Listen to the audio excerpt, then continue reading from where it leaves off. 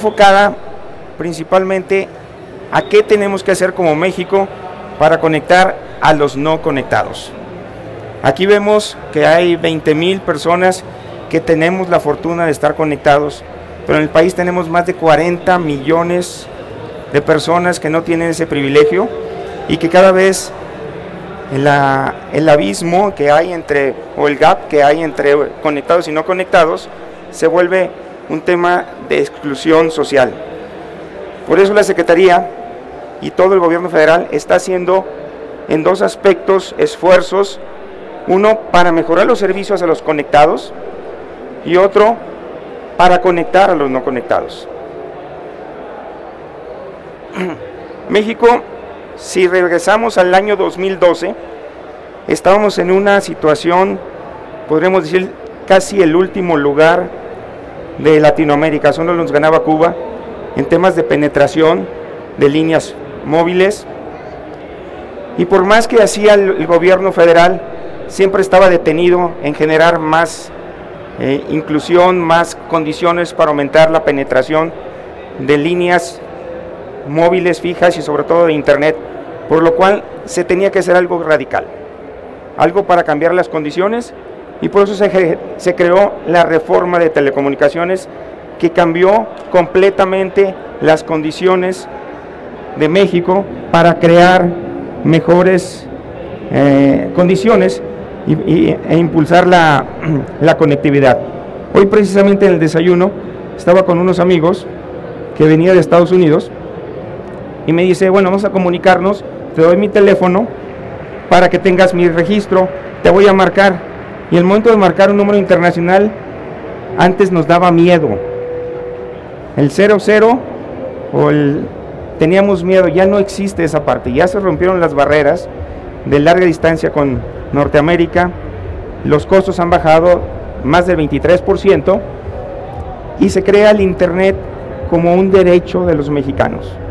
La constitución, la misma que prohíbe la esclavitud, ya dice que la Internet es un derecho. Entonces, de ese nivel de impacto tiene la reforma constitucional.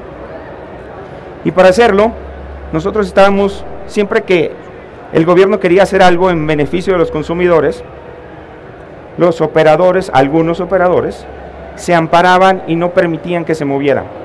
Por eso se creó un organismo autónomo constitucional, que es el Instituto Federal de Telecomunicaciones, que genera esas condiciones para generar más competencia. Como tercer punto es, ahí se generó tribunales especializados porque litigar en un tema técnico no era fácil para los, los jueces si no conocían esa experiencia. Y se generó un tema de preponderancia. ¿Qué dice la Constitución? Cuando tengas cierta participación de mercado, entras a un cuartito, por decirlo así, que se llama regulación asimétrica, donde el Instituto Federal de Telecomunicaciones le impone reglas o acciones que el operador tiene que acatar. Eso para generar más competencia y es en el proceso que está ahorita el mercado mexicano. Y por último, el gobierno federal deja de ser regulador, todo se pasa al Instituto Federal de Telecomunicaciones y se enfoca a ejecutar proyectos. Vamos a hablar solamente de tres proyectos. El primer proyecto es la ampliación de la red de fibra óptica troncal, red compartida de servicios móviles y México conectado. Siguiente. ¿Qué hemos hecho en los últimos tres años en el gobierno federal? Recientemente concluimos el apagón analógico. ¿Qué es el apagón analógico? Liberar la banda de 700 para utilizarlo para uso de banda ancha y que tengamos más capacidad como mexicanos, que el crecimiento es exponencial en los últimos tres años, ha aumentado el uso del número de usuarios de Internet más de 50% llegando casi 65 millones en estos momentos, veníamos de como de 40, y ahora, ¿qué nos tenemos que hacer para prepararnos para el Internet de las cosas, liberando espectro, generando más redes? Y el primer tema fue el apagón analógico. Vamos a hablar un poco también de la red compartida. Red compartida es el proyecto más transformacional de las telecomunicaciones que ha tenido México en la historia y ahora en estos momentos es un referente a nivel mundial. Nadie en el mundo está haciendo un proyecto de esa magnitud. Y por último, vamos a hablar de México Conectado. El proyecto que es lo que estamos haciendo para conectar a los no conectados. ¿Qué significa la reforma de telecomunicaciones? Cambios. Y esa es la analogía que existe con esto que estamos viendo aquí, con tantos campuseros, tantas ideas. El mundo es mundo de cambios. Las cosas que funcionan ahora en 10 años van a ser muy diferentes. Y la reforma de telecomunicaciones genera esas condiciones de cambios para tener más oportunidades. Ahora, para no hablar mucho, que se aburre y más con esta acústica, vamos a pasar un video de lo que fue TDT. TDT, para poder liberar la banda de 700 MHz, tuvimos que entregar 10.2 millones de televisores digitales a los hogares de escasos recursos. Todo mundo queríamos un televisor digital pero teníamos que enfocarlos a las personas que no tenían poder adquisitivo y se hizo un, sistema de logística para entregar a uno de cada tres hogares televisores digitales, que tenía por un lado liberada la banda y por otro lado le daba acceso a tecnologías y a servicios que las personas de escasos recursos no nunca habían vivido. Si hacemos, regresémonos al año 2008, cuando empezamos a ver las televisores de alta definición, cuando llegamos a un aparador y que veíamos que costaban 200 mil pesos y nos quedamos con la boca abierta viendo alta definición, y ahorita no pasa eso, ni con la 8K, que ya no nos impacta. Muchos mexicanos nunca habían visto alta definición. Cuando entregamos en comunidades rurales televisores de alta definición, vimos cómo es el impacto social que les cambió su vida. Y eso es lo que se trata este, este video. Ya hablamos un poco de tecnología, transformemos esa tecnología a la parte de impacto humano. Y que, eh, les quiero compartir este video. Somos de cabecera de Chamula, originario de Chamula, nazca aquí. sí. ¿Cuánto, ¿Cuánto me vieron a sacar mi nombre aquí?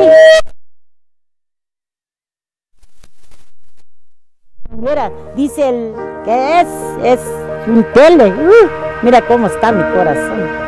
Parece una pájaro me volver. Uh, quiero volar rápido.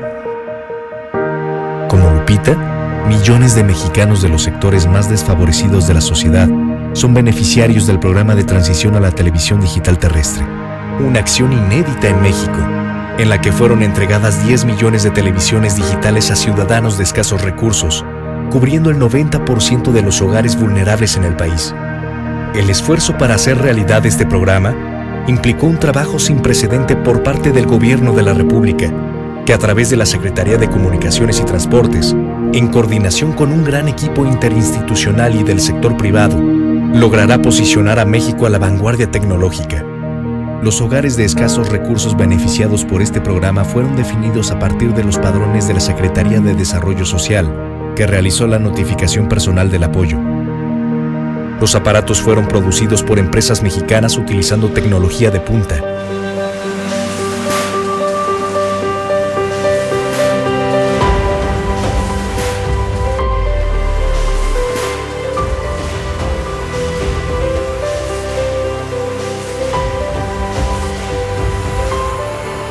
el Servicio Postal Mexicano realizó la distribución nacional y entrega de los televisores para su repartición en diversos centros instalados en el país.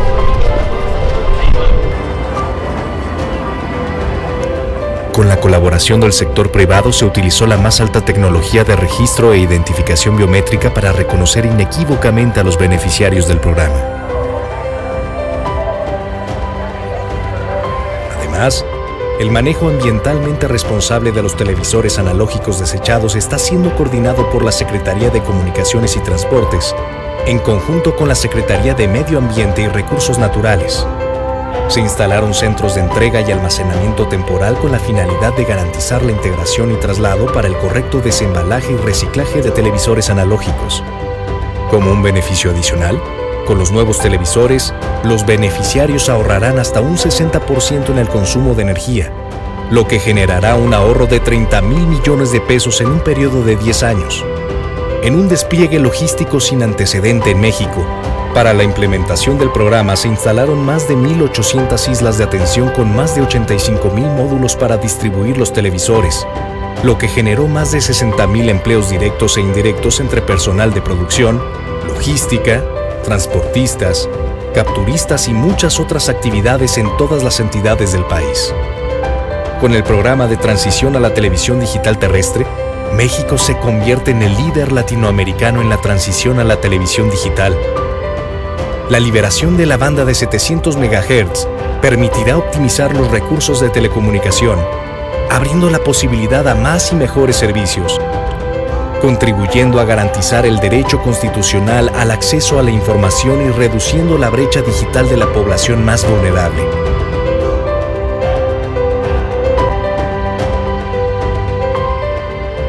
ahora. Me mandé mi tele. Ay, queda contenta con mi familia. Y ahora cayó, gracias de Diosito y gracias del gobierno. Gracias del gobierno que da.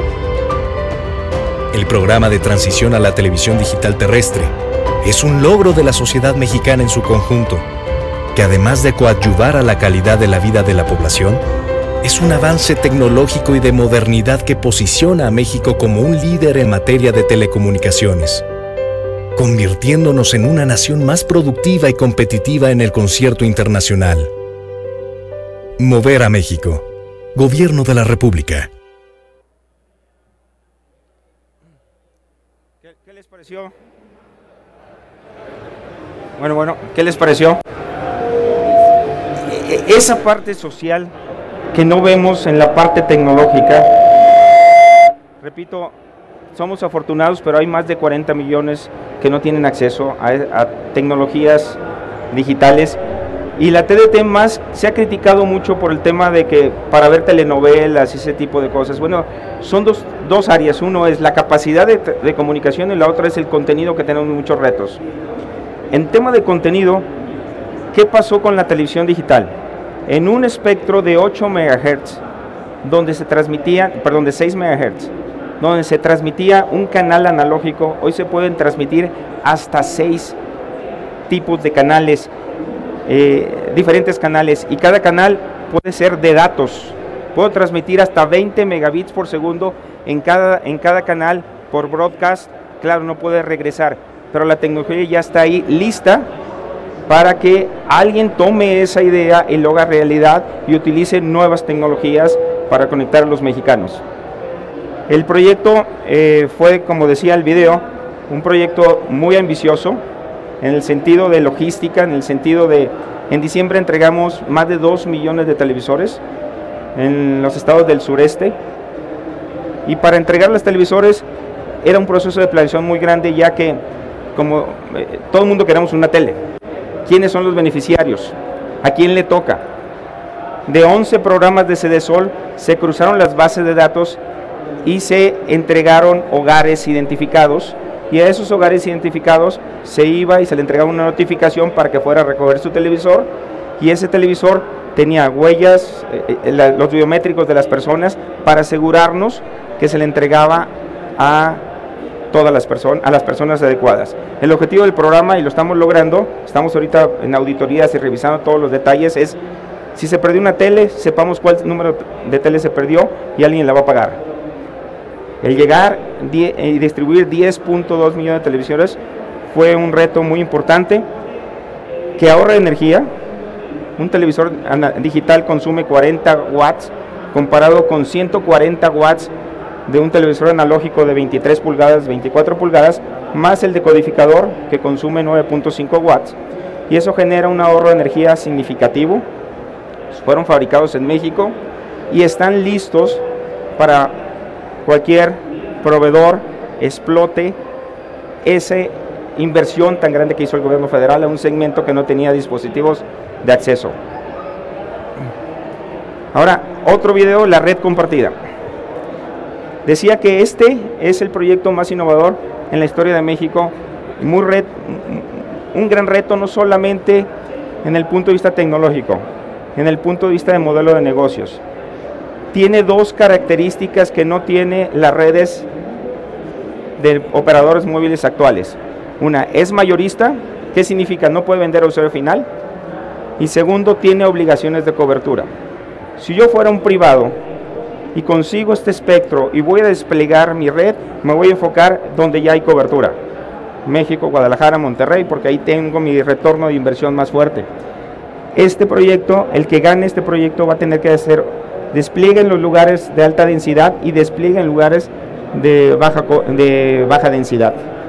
Utiliza la banda de 700 y va a haber consorcios que normalmente no conocemos porque el tema de las telecomunicaciones está cambiando. Esto se está convirtiendo el transporte en eh, un servicio como la electricidad, que lo importante no es el transporte de los datos, lo importante es la aplicación. A mí no me importa si viene por satélite, si viene por fibra óptica, por cable coaxial. Lo que necesito es el valor que dé la aplicación. ¿Y qué está pasando? El consumo de ancho de banda de todos nosotros está creciendo exponencialmente y no lo vamos a parar. El número de dispositivos por persona está aumentando cada vez más. Me decía, estuve en Silicon Valley hace tres meses, uno de los ingenieros de esos muy intensos me decía que tenía 500 direcciones IP en su casa.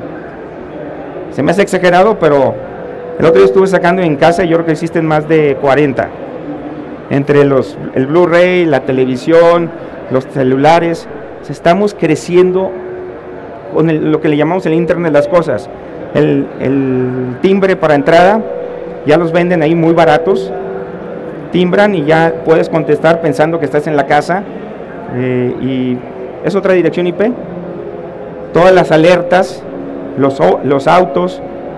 viene un tema muy importante de crecimiento de dispositivos y la única forma de hacerlo es generando proyectos de este tipo.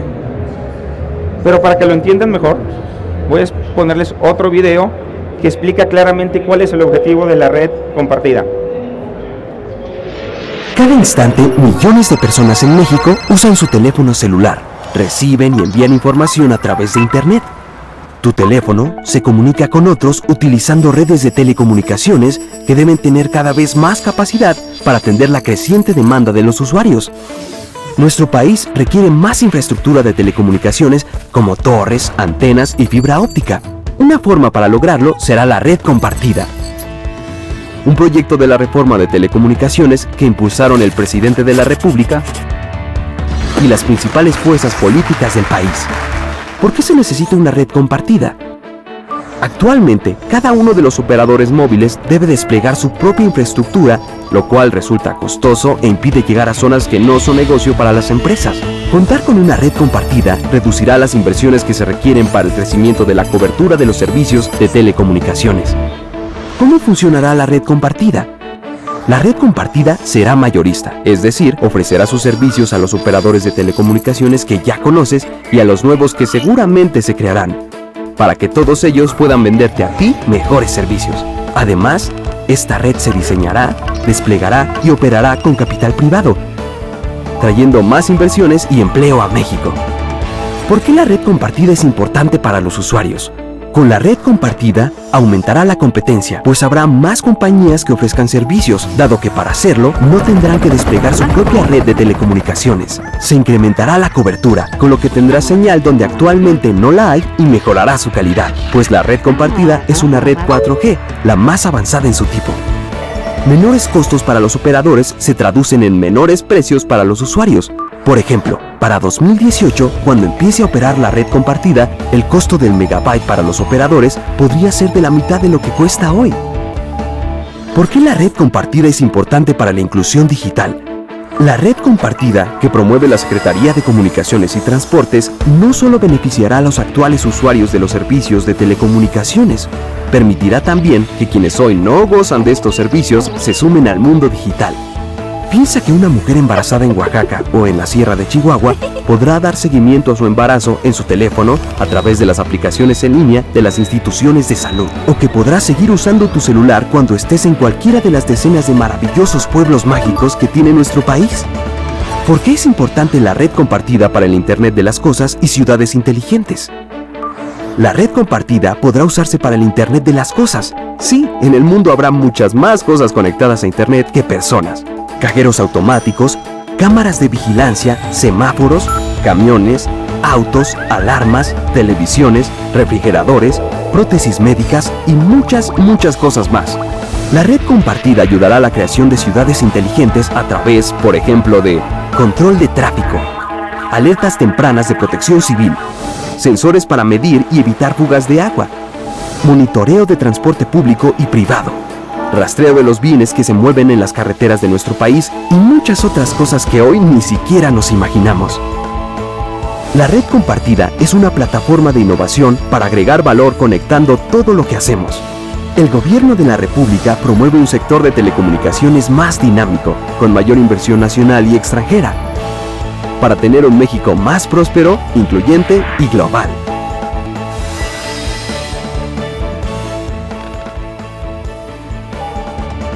Gobierno de la República. Ya entendimos qué es la red compartida ahora con este video. Es que es, es complicado entender la red compartida. Y creo que lo podemos resumir. El crecimiento exponencial del consumo de ancho de banda y de dispositivos conectados está creciendo de tal forma que si no generamos nuevos modelos no va a ser posible satisfacer la demanda a precios competitivos. ¿Qué va a pasar con la red compartida? Oportunidades de nuevos negocios. Cualquiera de ustedes en el pasado, o cualquiera de nosotros en el pasado, queríamos hacer una red celular de servicios móviles, teníamos que tener cuando menos 3 mil millones de dólares para desplegar una, una red, conseguir el espectro, pagar mucho dinero. Ahora con esto no. Queremos diseñar un, ser un operador virtual de alguna aplicación específica. Vamos a ir con el operador de la red eh, compartida y ya vamos a ser un operador virtual de una aplicación ¿De qué se trata? De transferir el valor por el que pagamos del transporte, que no es el valor que, buscamos, en la aplicación. Y van a surgir muchos operadores virtuales específicos para ciertas aplicaciones. Aquel que se quiere enfocar a voz y datos tradicional, pues ya está el modelo, no va a jalar.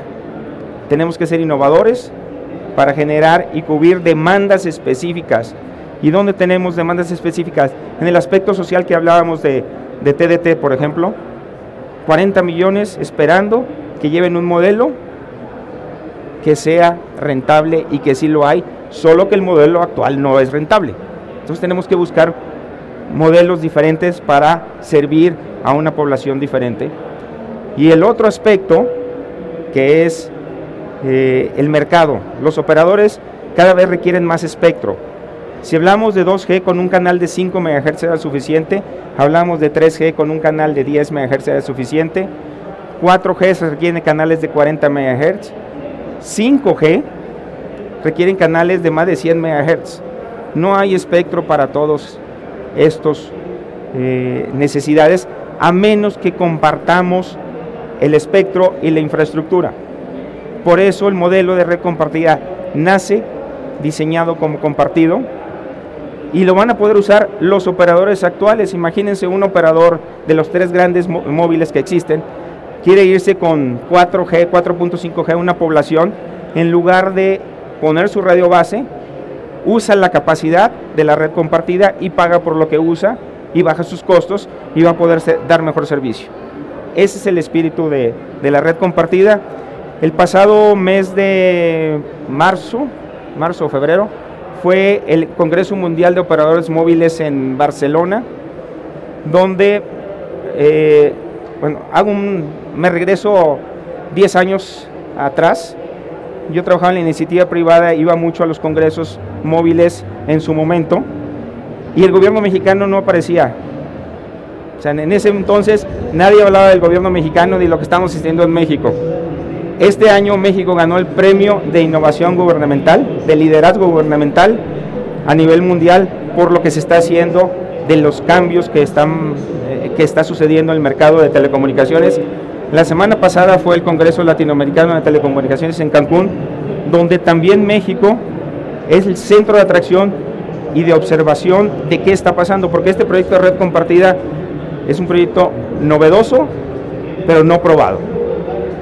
Entonces vamos a, estamos haciendo todas las cosas necesarias para aumentar la posibilidad de éxito de este proyecto. Estamos seguros que sí lo vamos a lograr y vamos en ese proceso de cambio.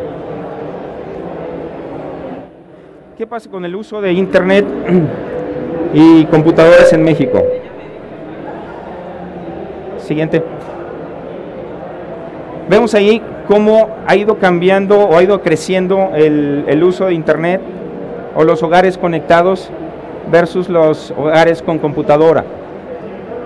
Y cómo está creciendo, y eso lo vemos en los hogares. Si lo extrapolamos a dispositivos, va a ser mucho más grande. El principal razón, ¿por qué no todos los hogares están conectados? ¿Y por qué no todos los hogares no tienen computadora? Hay un tema de costo. No tienen poder adquisitivo. Y se ven la proporción de que se refiere al tema de costo es muy alto, más sin embargo es un poco engañoso. Hemos hecho algunos estudios en algunos lugares donde no hay muchos hogares conectados y lo que le llaman los que se conectan el ciber y pagan a los niños a conectarse en el ciber, gastan más de 100 pesos al mes por ir a los cibers. Si se buscan los operadores, modelos que paguen 100 pesos limitados, pueden tener su ciber en su casa. Entonces es un tema también de educación y de análisis financiero de cada uno de los de, de la necesidad de los hogares. Por eso para los operadores es un gran potencial ese mercado no conectado. Otro tema muy importante que les eh, que es el tema de equidad, que ha estado en los últimos meses, eh, se ha hablado mucho del tema. Las TICs es un tema de equidad no hay una diferenciación entre hombres y mujeres y lo podemos ver aquí en casi casi 50% y también en México es 50%. En México conectado donde tenemos 230 mil socios, vamos a hablar de esos, hay más mujeres que hombres. Entonces las tecnologías están rompiendo paradigmas también sociales con el tema de equidad. Ahora hablando de México conectado, ¿Qué es México Conectado? Tiene dos grandes proyectos. Uno, conectar los sitios públicos, escuelas, hospitales, universidades, centros de salud, y de eso tenemos 101 mil contratados en 14 diferentes proveedores. El más grande que está por aquí, que no lo veo, pero está sentado por acá, tiene 30 mil. Eh, y tenemos tecnologías desde satelitales hasta fibra óptica de esos 101 mil, 1400 son sitios de alta capacidad que tienen conexiones desde 500 megabits por segundo hasta 10 gigabits por segundo, casi casi la capacidad que tiene esta, esta feria. Y es principalmente universidades y utilizamos ahí la red de fibra óptica de CFE y la red de fibra óptica de operadores para hacer la distribución en 40 ciudades. Tenemos 70 mil sitios conectados con tecnologías terrestres, fibra óptica, DSL, coaxial, y tenemos 30.000 satelitales, que son muy caros, pero no hay otra forma de conectarlos. Y estamos en proceso de migrar hacia nuevas tecnologías como las tecnologías de alta capacidad eh, satelitales que ya están viniendo a México este año. México Conectado no es tampoco es un capricho que se le ocurrió a alguien, sino es viene desde hace tiempo con el proyecto de México y tiene un relanzamiento y un fortalecimiento con la reforma constitucional donde nos dice que a través del artículo 17 transitorio que tenemos que conectar a sitios públicos hasta conseguir la cobertura universal. Y en eso estamos enfocados. De los 100 mil sitios, el 65% son escuelas. Y estamos enfocándonos muchos hacia, hacer soluciones en las escuelas mucho más eficientes. ¿Qué está pasando en las escuelas? Antes donde le dábamos 5 megabits a una escuela y había dos computadoras o tres computadoras, perfecto.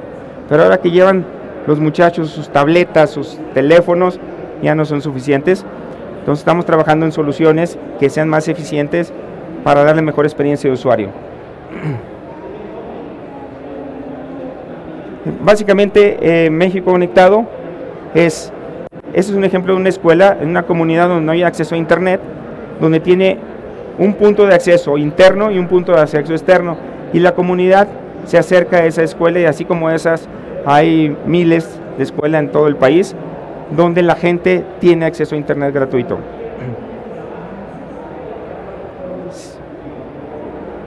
Ahora vamos a ver el video de México Conectado, porque es más fácil verlo a través de imágenes.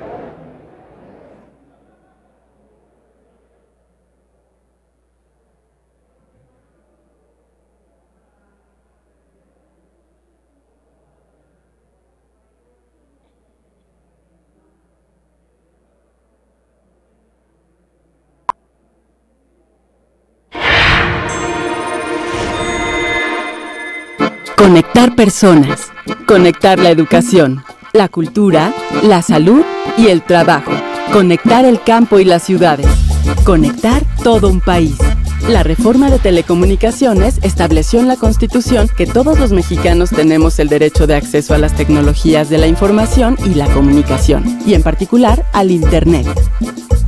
Por ello, el programa México Conectado brinda Internet de banda ancha en sitios públicos como escuelas y universidades, centros de investigación, clínicas y hospitales, ayuntamientos, oficinas de gobierno, bibliotecas, parques y plazas. México Conectado es un beneficio de la reforma de telecomunicaciones y forma parte de la Estrategia Digital Nacional. Tiene como objetivo disminuir la brecha digital de la población en todo el territorio nacional.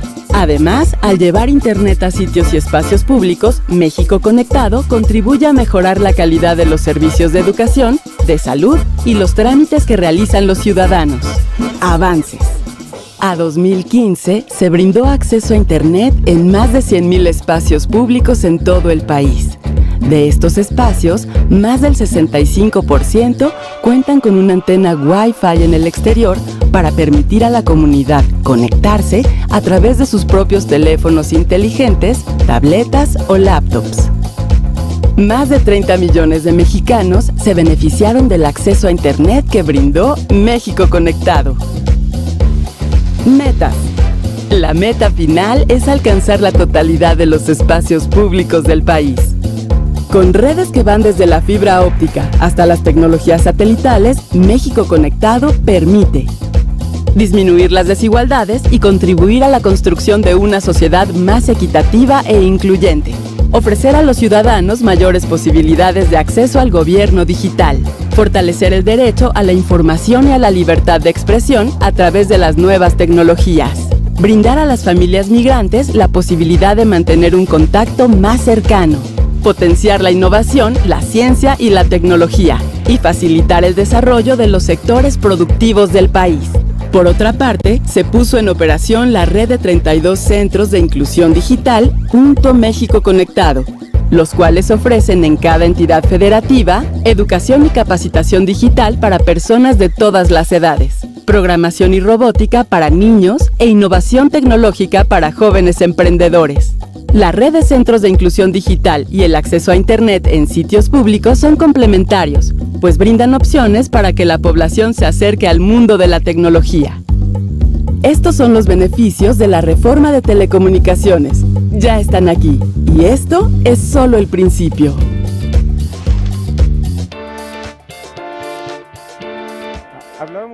Hablábamos, de México Conectado, de dos proyectos, vimos lo de los 101 mil sitios, y en el video se mencionan los centros de inclusión digital, que son 32. Aquí en, Jalisco existe uno que está en Mariano Otero, muy cercano aquí a dos cuadras, donde es, ¿qué son esos centros de inclusión digital? Son lugares donde tienes conectividad de alta velocidad, tienes computadoras, tienes tabletas y lo más importante, tienes instructores en tres áreas. Una, inclusión digital para personas que nunca han tenido acceso a las computadoras, cursos básicos. Otra parte es de robótica, donde eh, los niños tienen eh, cursos y herramientas para desarrollar proyectos de robótica. Recientemente hicimos el segundo concurso nacional de robótica donde participaron más de 2.300 niños a nivel nacional, ya que todos los centros, eh, los puntos México conectados tenemos conectividad de telepresencia para hacer competencias a nivel nacional Los 300 mejores se fueron a la Ciudad de México y ahora se van 30 al Silicon Valley como premio a los mejores estudiantes de robótica. El tercer área es el área muy relacionada con este foro, que es el área de eh, innovación y emprendimiento. Ahí hemos tenido 18 mil estudiantes que han generado cerca de 8 mil empresas, pero lo más importante de esas 8 mil empresas, casi 1.400 ya tienen alguna fuente de financiamiento. Porque de nada sirve tener buenas ideas si no la llevas a un fin que se usa. La gente no vale por lo que sabe, sino por lo que hace con lo que sabe. Y aquel proyecto que recibe financiamiento es una semilla que creció y que va a dar frutos. Entonces se les invita aquí, a, si vienen de cualquier estado, métanse en la página de Puntos México Conectado y ahí viene la dirección y pueden ir a visitarlos. Son servicios de alta calidad sin costo. Aquí lo pueden ver en Mariano Otero y sobre todo los instructores les pueden ayudar a incubar esas ideas y llevarlas a un final feliz en el que pueda convertirse en un negocio. Si se convirtió en un negocio, es que está siendo usada su idea. Entonces, reciban esa cordial invitación a cualquier sitio, Puntos México Conectado, que tenemos hasta la fecha 14 eh, meses, eh, desde que se inauguró el primero en Tlaxcala, 15 meses. Tenemos 229 mil eh, socios inscritos, de los cuales 120 mil han cursado algún curso, han pasado por algún curso. Entonces es muy importante el impacto, lo que queremos dar con eso es todo, no solo la experiencia de conectividad, sino toda la experiencia en tu end de llevar un proyecto, un curso para cambiar la vida de las personas. ese es el proyecto de México Conectado. Estamos muy contentos porque por un lado tenemos 229 mil socios en los puntos y por otro lado tenemos más de 20 millones de dispositivos diferentes cada mes conectándose a los 101 mil sitios México Conectado. Quiere decir que la gente lo está usando y esos 20 millones son, pueden ser personas, porque las personas de escasos recursos normalmente no tienen dos dispositivos. Lo que podemos checar es que si son dispositivos diferentes. Entonces, más de 20 millones de, de accesos de dispositivos diferentes cada mes en los sitios México Conectado y más de 229 mil socios en los puntos México Conectado. Con esto queremos cubrir la parte del mercado que no la está cubriendo. Es donde no está llegando el mercado a ofrecer esos servicios, ya sea porque no tienen poder adquisitivo las personas o porque simplemente no hay cobertura. Sin más, quiero abrir los últimos minutos que me quedan para preguntas, si hay, hay alguna pregunta en el, entre ustedes. Adelante.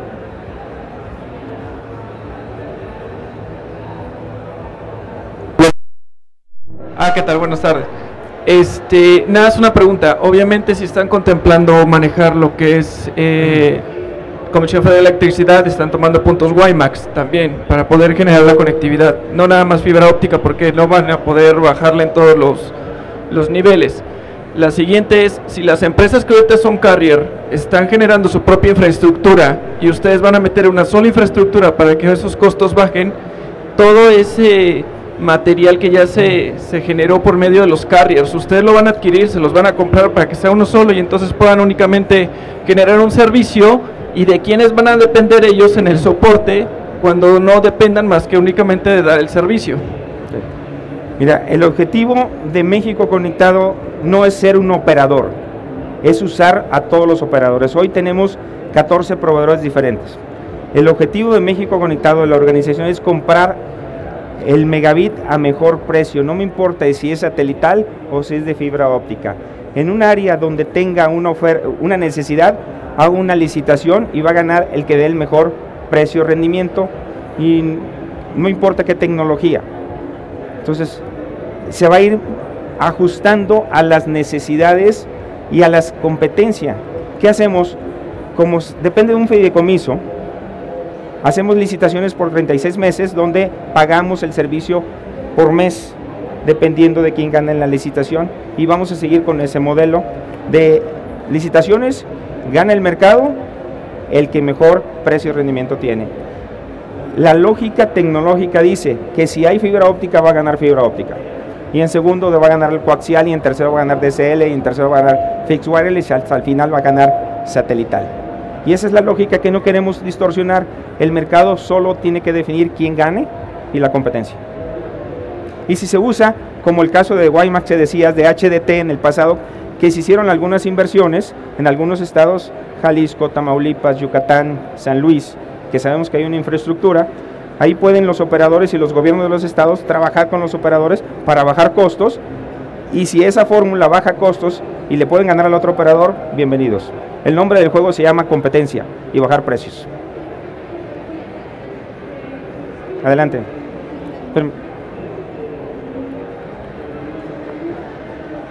Mi pregunta es, como Secretaría de Comunicaciones, en cierta forma están haciendo como una carretera virtual, que ya en segundos nos comunicamos. Pero mi pregunta es, ¿ustedes podían liderar un proyecto para incluir el teletrabajo y comercio electrónico? Como Secretaría de Comunicaciones somos responsables de la carretera y generar con las dependencias ese trabajo colaborativo para utilizar esa carretera.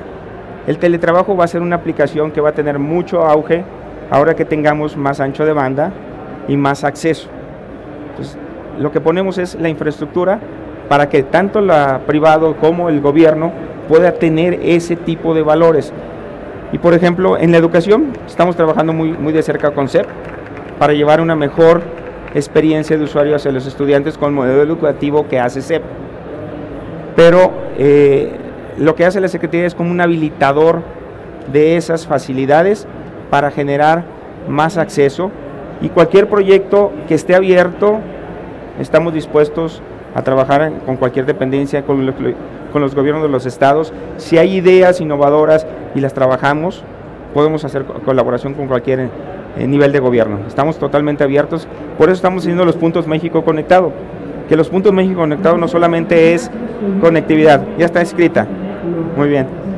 Entonces, el objetivo de nosotros es un habilitador para que el mercado y la sociedad generen ese valor agregado final que es el que interesa. Ingeniero, de los 10 años que estuvo en, atrás en la iniciativa privada y lo que le ha tocado vivir ahora en el gobierno, ¿Cuál es el principal reto que ha encontrado usted para innovar y para que esta innovación sí genere un cambio tecnológico y sea contundente? Me haces una pregunta muy difícil. Bueno, no fueron 10 años, 20 años. No me veo tan, tan joven, pero 20 años en IP y ahora en el gobierno. Hay dos grandes diferencias entre gobierno e iniciativa privada. Primero es la paga. En, en IP se paga mejor pero aquí se trabaja más, pero se siente uno más satisfecho que las acciones que uno hace tienen un impacto social muy fuerte. Y eso es, eso como dice alguna tarjeta, alguna marca de tarjeta de crédito es priceless. Y es muy bonito trabajar para el gobierno y ver ese impacto social. Que a propósito quiero agradecer públicamente aquí a la Universidad de Guadalajara, que veo que está muy presente aquí, como la instancia coordinadora nacional de la instalación de todos los sitios México Conectado, el objetivo es colaborar con las universidades y ellos organizan a nivel nacional y van a cada estado y escogen una universidad local para hacer el despliegue de la red, la identificación de puntos y alinear necesidades a nuestro esfuerzo, porque antes se tomaban las decisiones en la Ciudad de México sin saber qué es lo que necesitaba un estado. Ahora nos estamos yendo a los estados para determinar en dónde tenemos que conectar y cómo tenemos que conectar y ahí la Universidad de Guadalajara es nuestro socio estratégico en este esfuerzo. ¿Alguna otra pregunta? Bueno, les agradezco mucho su atención y nos vemos pronto.